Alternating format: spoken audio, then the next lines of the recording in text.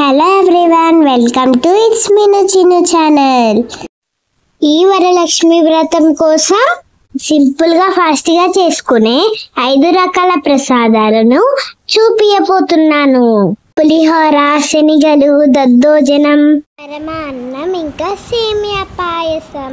ఎలా చేయాలో చూసేద్దాం. బెల్లం పరమన్నం. అమ్మవారికి చాలా ఇష్టమైన ఈ ప్రసాదాన్ని ఎలా చేయాలో చూసేద్దామా? ఫస్ట్ వన్ గ్లాస్ రైస్ తీసుకొని కడిగి నానబెట్టుకోవాలి. తర్వాత ఇందులోకి రెండు గ్లాసుల వాటర్ రెండు గ్లాసుల పాలు పోసుకోవాలి. ఫాస్ట్గా అయిపోవడానికి మేము ప్రెషర్ కుక్కర్లో చేస్తాము.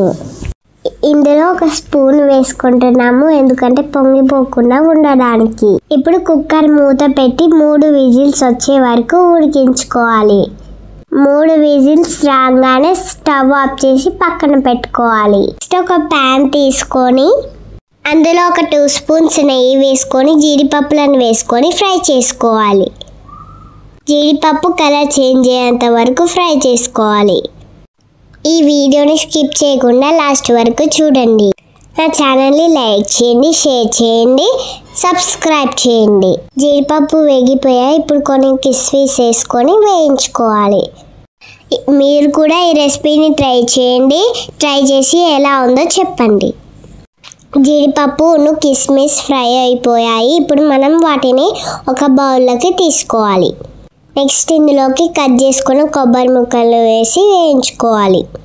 కొబ్బరి ముక్కలు మీకు నచ్చితేనే వేసుకోండి లేదంటే లేదు. కొబ్బరి ముక్కలు ఫ్రై అయిపోయాయి తీసి పక్కన పెట్టుకోండి. ప్రెజర్ అంతా పోయింది ఇప్పుడు కుక్కర్ మూత తీసి చూద్దాం. అన్నం బాగా సాఫ్ట్గా ఉడికిపోయింది. ఒకసారి అన్నం అంతా కలుపుకోవాలి. అన్నంని ఒకసారి మ్యాష్ చేసుకుందాం. ఇప్పుడు మళ్ళీ ఒక రెండు గ్లాసుల పాలు పోసుకుంటున్నాను. పాలు పోసుకొని ఒకసారి మొత్తం కలుపుకోవాలి. ఇప్పుడు స్టవ్ సిమ్లో పెట్టుకొని ఒక నిమిషం బాయిల్ అవ్వనివ్వాలి. బాయిల్డ్ అయిపోయింది. ఇలా ఉన్నప్పుడు మనం బెల్లం యాడ్ చేసుకోవాలి. ఇలా దగ్గర పడిన తర్వాత బెల్లం వేసుకోవాలి. లేదంటే పాలు విరిగిపోతాయి. ఒక గ్లాస్ రైస్కి రెండు గ్లాసుల బెల్లంని యాడ్ చేసుకోవాలి. ఇప్పుడు బెల్లం అంతా కలిసేలాగా కలుపుకోవాలి. బెల్లం వేసేటప్పుడు స్టవ్ సిమ్లో పెట్టుకోవాలి. ఇప్పుడు ఒక చిటికెడు సాల్ట్ వేసుకోవాలి. సాల్ట్ వల్ల స్వీట్నెస్ పెరుగుతుంది. నెక్స్ట్ ఇందులోకి విలాచి పౌడర్ వేసుకోవాలి. ఇప్పుడు ఒకసారి అంతా కలుపుకోవాలి. మరి మూత పెట్టి ఒక నిమిషం వరకు ఉడకనివ్వాలి. ఇలా చేస్తే ఫాస్ట్గా అయిపోతుంది చాలా టేస్టీగా కూడా ఉంటుంది. ఇప్పుడు వేయించుకున్న జీడిపప్పులు కిస్మిస్ అలాగే కొబ్బరి ముక్కలు వేసుకొని కలుపుకోవాలి. నెక్స్ట్ ఇందులోకి ఒక టూ స్పూన్స్ నెయ్యిని వేసుకోవాలి. మళ్ళీ ఒకసారి కలుపుకోవాలి. అంతే మన టేస్టీ టేస్టీ పరమాన్నం రెడీ. మీరు కూడా ఇలా ఒకసారి ట్రై చేసి దేవుడికి నైవేద్యంగా పెట్టండి. శనిగల ప్రసాదం చేసుకుందాం. శనగల్ని ముందు రోజు నైటే నానబెట్టుకుంటే ప్రసాదం తొందరగా అయిపోతుంది. నానబెట్టుకున్న శనగల్ని కుక్కర్లో వేసి మునిగేంత వరకు నీళ్ళు పోసి మూత పెట్టుకొని రెండు విజిల్స్ రానివ్వాలి. రెండు విజిల్స్ తర్వాత చూడండి శనగలు బాగా ఉడికిపోయాయి. ఇప్పుడు నీళ్ళని వంపేసుకొని శనగల్ని పక్కన పెట్టుకుందాం. ఇప్పుడు పోపు కోసం స్టవ్ ఆన్ చేసి ప్యాన్ పెట్టుకొని ఆయిల్ వేసుకొని కట్ చేసుకున్న ఎండుమిర్చిని జీలకర్ర ఇంకా ఆవాలు కట్ చేసుకున్న పచ్చిమిర్చిని వేసుకొని వేయించుకోవాలి. పచ్చిమిర్చి బాగా వేయిన తర్వాత రెండు రెబ్బల కరివేపాకును వేసుకోవాలి. మరి కలుపుకొని ఒక స్పూన్ పసుపును వేసుకోవాలి. పసుపును బాగా కలిపి ఇంకా పెట్టుకున్న శనగలను వేసుకోవాలి. శనగలను వేసిన తర్వాత ఒక స్పూన్ సాల్ట్ వేసుకొని అంతా కలుపుకోవాలి. బాగా కలిపి కొంచెం వేగనివ్వాలి. ఇప్పుడు కొంచెం పచ్చి కొబ్బరి తురుమును వేసుకోవాలి. కొబ్బరి తురుము వేయకుండా కూడా చేసుకోవచ్చు. మీ ఇష్టం. ఇప్పుడు అంతా ఒకసారి కలుపుకొని స్టవ్ ఆఫ్ చేయాలి. మన శనగల ప్రసాదం రెడీ. అటుకుల దద్దోజనం. ఒక మండపాటి అటుకులను తీసుకొని కడిగి పెట్టుకోవాలి. ఎప్పుడు అన్నంతోనే కాకుండా ఇలా అటుకులతో చేయండి ఫాస్ట్గా అయిపోతుంది. కడిగి పెట్టుకున్న అటుకులలో మూడు స్పూన్ల పెరుగు గ్లాస్ పాలు వేసుకొని కలుపుకోవాలి. ఇలా కలుపుకొని ఒక ఐదు నిమిషాలు పక్కన పెట్టుకోవాలి.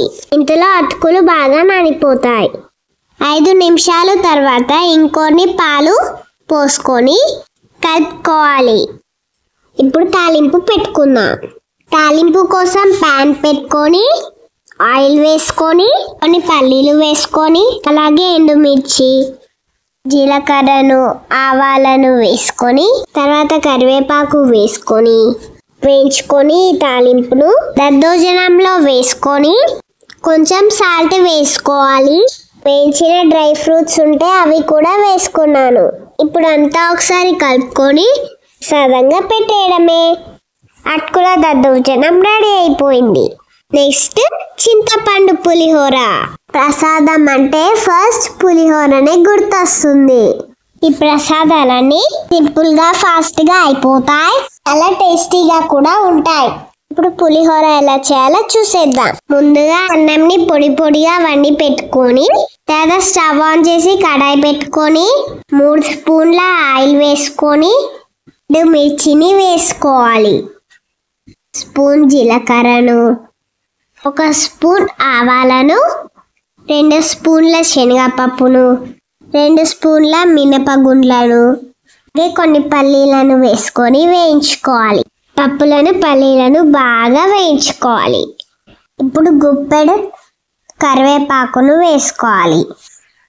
పోపు బాగా వేగిన తర్వాత దీనిలో నుండి కొంచెం పోపుని తీసుకొని పక్కన పెట్టుకుంటున్నాను. ఈ తీసుకున్న పోపుని లాస్ట్లో పులిహోరలో వేసుకోవాలి. ఇప్పుడు ఈ పోపులో చింతపండు రసాన్ని వేసుకోవాలి. ఈ చింతపండు రసాన్ని ఆయిల్లో బాగా ఉడకనివ్వాలి. ఇందులో కట్ చేసుకున్న పచ్చిమిర్చిని అలాగే కరివేపాకును వేసుకోవాలి. స్పూన్ పసుపును వేసుకొని బాగా కలుపుకోవాలి. చింతపండును బాగా దగ్గరికి అయ్యేంత వరకు ఉడికించాలి. వేయించిన జీలకర్ర మెంతుల పొడిని ఒక స్పూన్ వరకు వేసుకోవాలి. తురిమిన కొంచెం బెల్లంని వేసుకోవాలి. నేను బెల్లం పౌడర్ని వేసుకున్నాను. తగినంత సాల్ట్ వేసుకొని కలుపుకోవాలి. ఆయిల్ సపరేట్ అయ్యేంత వరకు చింతపండు గుజ్జుని వేయించాలి.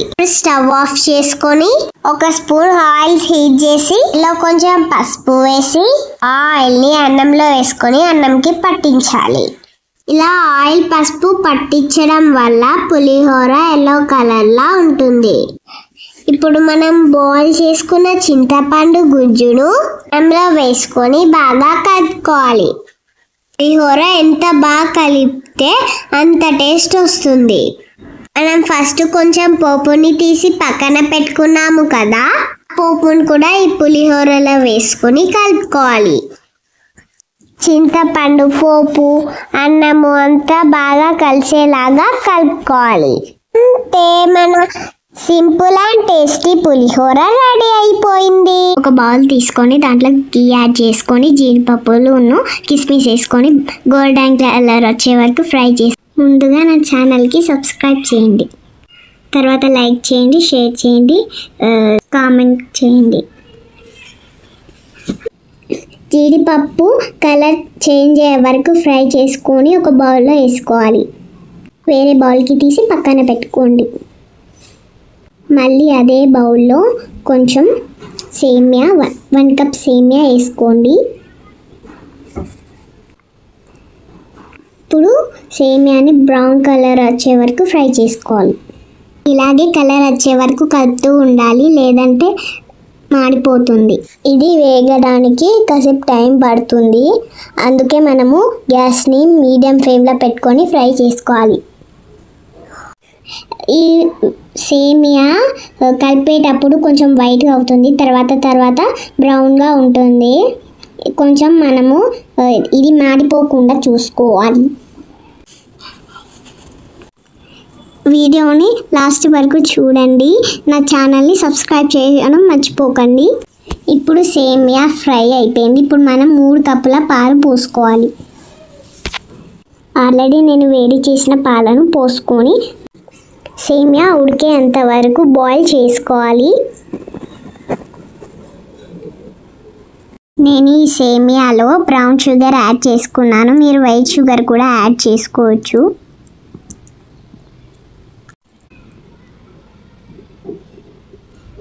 సేమియా బాయిల్ అయిన తర్వాత వన్ కప్ సేమియాకి హాఫ్ కప్ బ్రౌన్ షుగర్ చేసుకోవాలి స్వీట్ ఎక్కువ కావాలంటే ఇంకా టూ స్పూన్స్ షుగర్ కూడా యాడ్ చేసుకోవచ్చు. నేనైతే హాఫ్ కప్పే వేసుకున్నాను. షుగర్ అంతా కలిసేటట్టు కలుపుకొని ఒక వన్ మినిట్ బాయిల్ చేసుకోవాలి. ఇప్పుడు ఒక పావు స్పూన్ ఇలాచి పౌడర్ వేసుకొని బాగా కలుపుకోవాలి.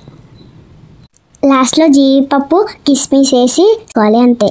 మన సేమియా పాయసం రెడీ. ఈ ప్రసాదాలన్నీ తప్పకుండా ట్రై చేసి ఎలా ఉన్నాయో కామెంట్ చేయండి. అయితే లైక్ చేయండి షేర్ చేయండి నా ఛానల్ని సబ్స్క్రైబ్ చేయండి. గంట కొట్టడం మాత్రం మర్చిపోకండి. Thank you for watching my video.